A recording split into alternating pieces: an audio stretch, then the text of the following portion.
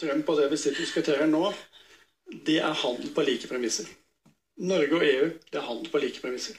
Vi har de samme ja, har reglene. jeg lyst til å spørre Men deg. så har jeg lyst til å si Ok. en ting. Ja. Ta noen skrekkeksempler. Hva vi har gjort i Norge de siste årene som ikke er handel på like premisser. Heldigvis så satt Arbeiderpartiet på makt med 70-tallet, når vi hadde norsk olje. De hadde én ting de hadde.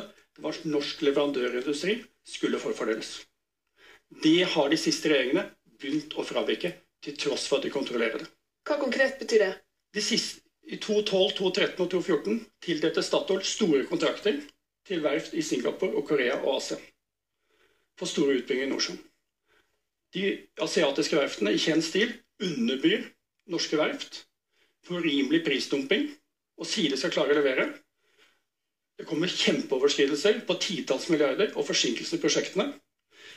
Hva er resultatene? Vi har overført teknologien, kunnskapen, fra norsk industri til Asia med kjempetap og arbeidsplasser i Verdalen, på Stord og Karmøy går tapt.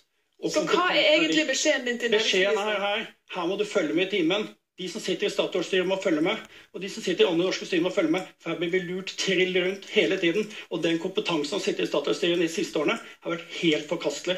Hva dere holdt på med norske arbeidsplasser og fordeling av norsk industri. For nå får dere betalt. Nå er det 10 000 arbeidsplasser som er tatt pga. de kontraktene i Asia som dere ga gjennom Statoil i 2012-2013. Det var advarsel fra Aker, det var advarsel fra Kværner, det var advarsel fra Aibel.